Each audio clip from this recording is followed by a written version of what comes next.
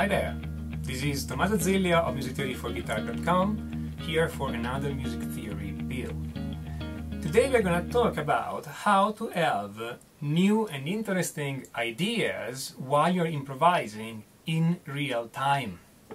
So, let's say somebody plays a backing track or somebody's playing some chords for you and you are improvising. I can see different scenarios playing out there, depending on your experience. Uh, but what I see may, most often in intermediate players is that they play one idea and they stop. And they play another idea and they stop. And they play a third idea and then they stop. This creates two big problems. Problem number one is that the solo sounds like a one idea after another, like a collection of unrelated ideas, because because it is. Okay, you're playing an idea and thinking of the next idea, and then you're wiping your mind completely, so there's nothing left of the previous idea, and you play your second idea, and then you think of a third idea, and the third idea has nothing to do with the previous idea. It's a bit of a problem. It doesn't look, it doesn't sound connected. It doesn't sound musical. The second problem is that it's really, really hard to do because hey, you need to come up with a new idea every few seconds. A completely new idea every few seconds. This doesn't really work. I mean, after a few minutes of doing that, I see some of those players saying, hey, I'm done. I have nothing left. I have no more ideas. They played everything they know in those few minutes. If it ever happened to you, you play a solo, and at a certain point you're, you play improvise a solo, and at a certain point you're like, hey, I have nothing left yeah, maybe this, what you're doing right now, is to help you. So, the idea here is to find a way to get ideas so that, to get inspiration if you want, so that you don't play the same three notes all the time. At the same time that those new ideas want to be connected, you want them to be connected to what you played before. Okay? And what I'm going to show you today are two very simple strategies to do that.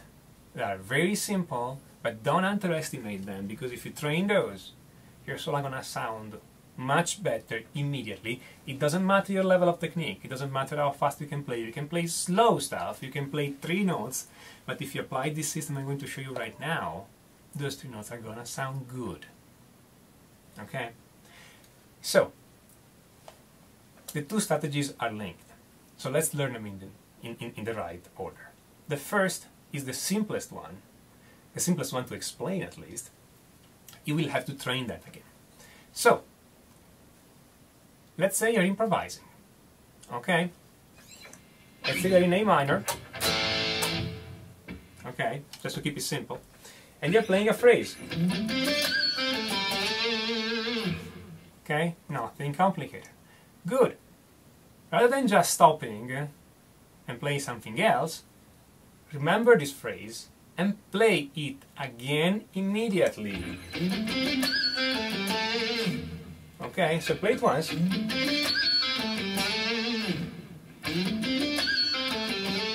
And play it again. But Tommaso, you're gonna tell me right now, this doesn't sound good.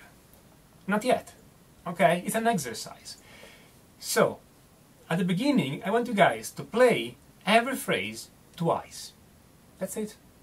Play an improvisation and everything you play, you play it twice. Why we are doing that? Because I want you guys to develop a bit of musical memory. You're gonna see that if your phrase is too complicated, it's going to be hard to remember.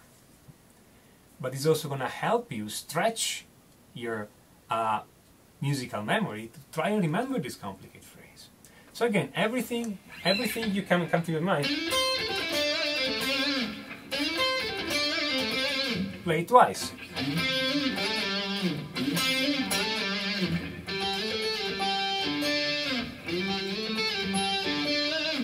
Okay, everything. Play twice, play twice. Now, I'm doing this without a backing track right now because I want you guys to see what's happening without being distracted.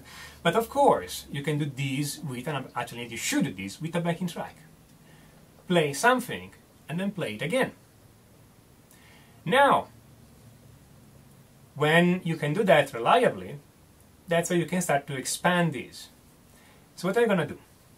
You're going to do that. Here's exercise number two. We are still on the first strategy, but that's exercise number two. It's you play a phrase, let's call this phrase the first.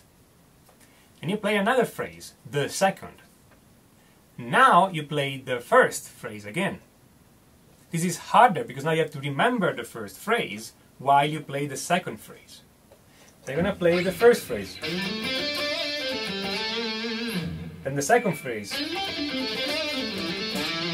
And the first. Okay? That's how you're to do it. Now I don't care if the phrase is exactly, exactly, exactly the same or is slightly different. What I care is that you get the same idea in, okay?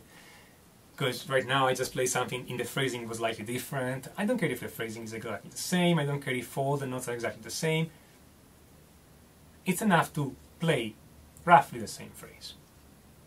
So, again, exercise number one, play every phrase twice. Exercise number two, play a first phrase, then a second phrase, then play the first phrase again.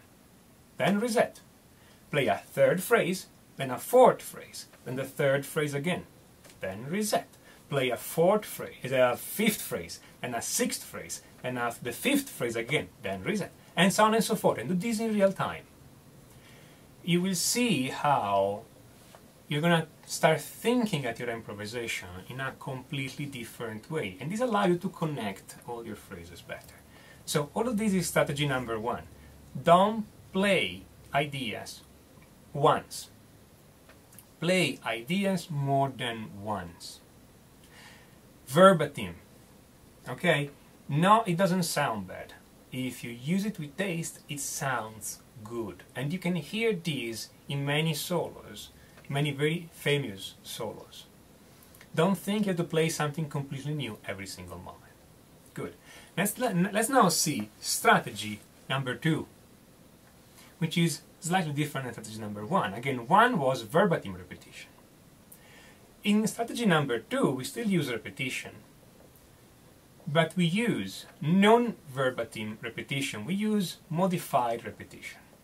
There are many ways in which I can take a phrase and modify it. Right now, I'm concerned with only one way of doing that which is sequencing. Because sequencing is really easy to do. Okay? Uh, let's say your solo is mostly on the pentatonic scale. Okay? For this, to do this second strategy, you need to know the five pentatonic patterns on your guitar. Okay? All the five of them.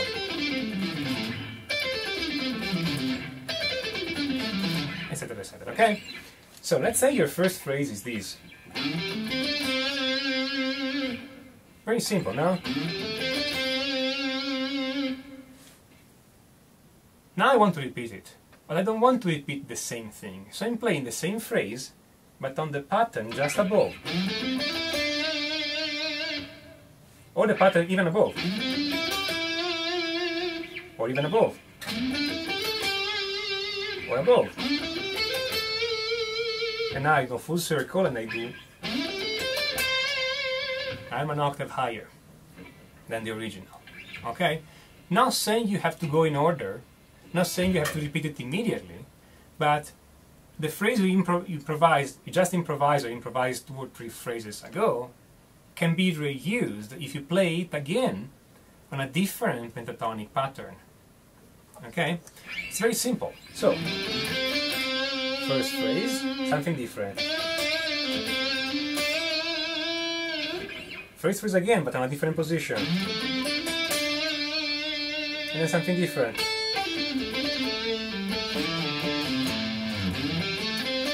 First phrase again in the original position, something different. And then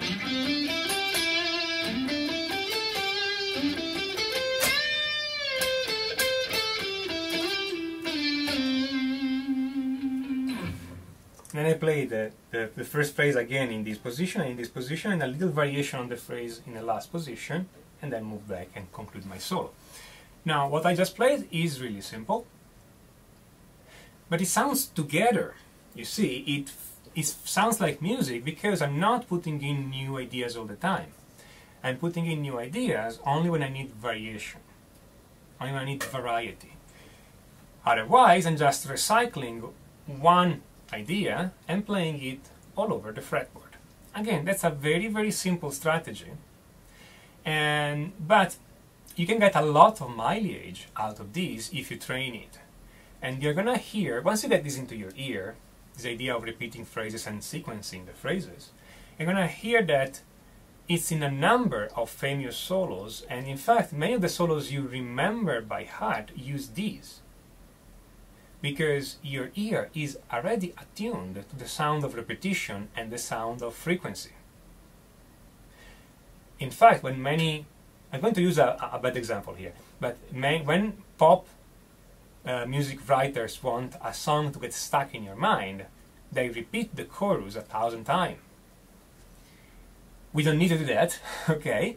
But it's good for us too to use a little bit of repetition, whether it's verbatim repetition or it's sequencing repetition, so that the solo enters into the mind of the listener and the listener keeps remembering this solo. The solo becomes memorable because you use those little tricks.